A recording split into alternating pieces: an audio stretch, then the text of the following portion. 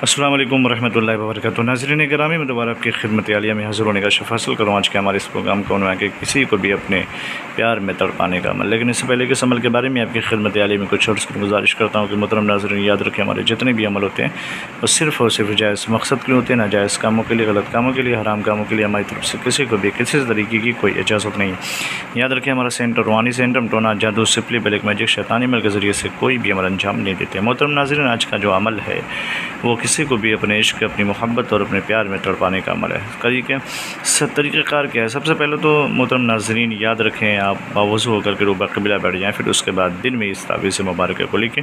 इसका आगाज़ यहाँ से करेंगे तीन तीन तीन, फिर उसके बाद लिखेंगे तेरह, नौ, सात, फिर उसके बाद बीच में लिखा है फ़लाँ बिन फ़लाँ। तो जिसके लिए लिख रहे हैं उसका नाम, उसकी माँ का नाम लिख करके नीचे लिखा बेहक के इमराइल और तीन। यह तावीज़ मुकम्मल करें और मुकम्मल करने के बाद इस तावीज़ को पानी में, दरिया में या फिर नदी में या फिर कुएँ में डाल दें। सिर्फ़ एक मरतब ये तावीज़ बना करके एक ही दिन इसका इस्तेमाल करें। इन फिर उसका असर ही देखेंगे कि वो आपकी मोहब्बत में तड़पना शुरू कर देगा, इश्क में बेकरार होगा और मोहब्बत में बेचैन हो जाएगा। लेकिन सिर्फ़ और सिर्फ़ जायज़ मकसद के लिए इसका इस्तेमाल कीजिएगा। मोहतरम नाजिन इजाज़त के लिए शर्त बोले कि कमेंट में जाके अल्लाह मोहम्मद लिख दें। हमारी तरफ़ से आपको इजाज़त मिल जाएगी। फिर मिलते हैं दूसरे नशिश्त में। तब तक लिए खुदाफ़ अल्लाह हाफ़ अल्लाम वरहमल वर्का